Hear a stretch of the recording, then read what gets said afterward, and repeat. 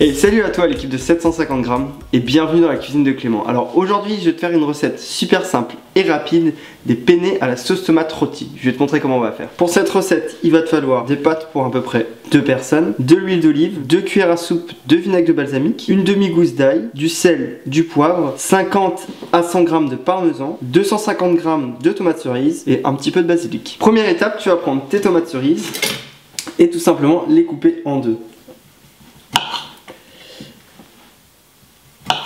C'est une sauce qui est super rapide, ça change d'une sauce tomate euh, classique qu'on fait à la casserole.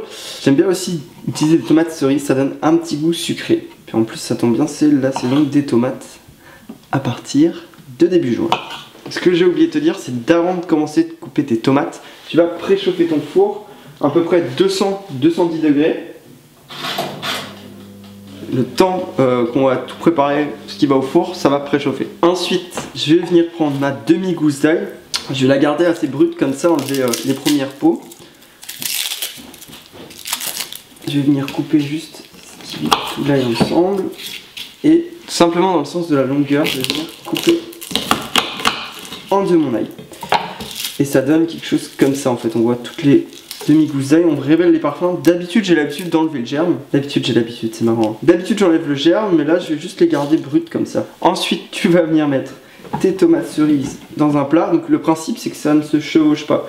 Donc que ce soit bien un plat. Là j'ai pris un plat qui est euh, beaucoup plus grand euh, de ce que j'ai à cuire. Un plat qui va au four bien sûr.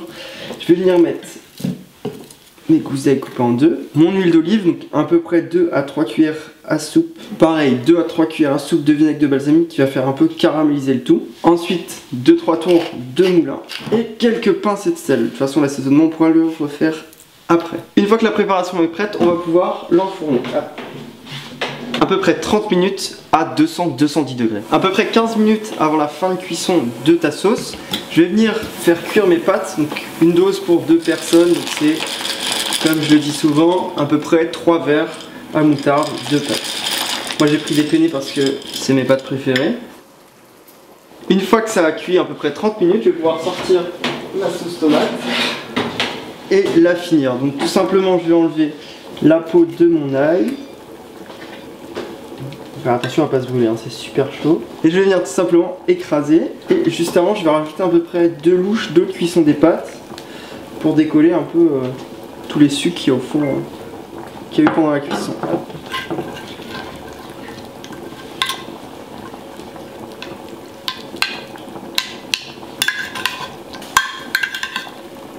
Dernière étape pour finaliser tes pâtes, bah tu vas rajouter tes pâtes.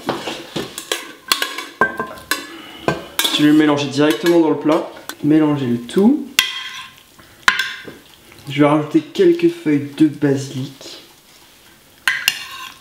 Vous voyez bien sûr le basique, ça apporte beaucoup de fraîcheur et se marie à perfection avec la tomate. Dernière étape, je vais venir mettre mon parmesan.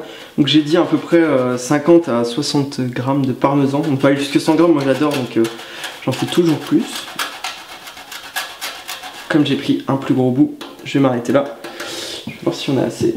Donc le sel, je le corrige après parce que le parmesan ça apporte le côté salé aussi. On va pouvoir goûter. Non, c'est super bon. On sent bien le petit côté caramélisé euh, du vinaigre balsamique et le côté de la fraîcheur qu'apporte le, le basique. C'est super cool. Hein. c'est bon.